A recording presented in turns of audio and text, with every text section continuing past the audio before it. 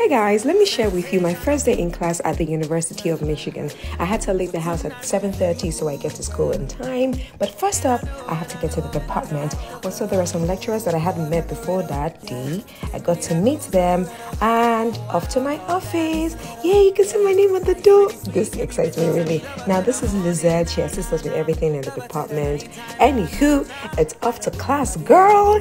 And we talked about Nollywood, African stories, filmmaking in general our language, our culture. They got to ask me loads of questions. And honestly, it gives me so much joy to share all of my knowledge with the students. Anyway, end of class and see your girl walking into glory. Hallelujah.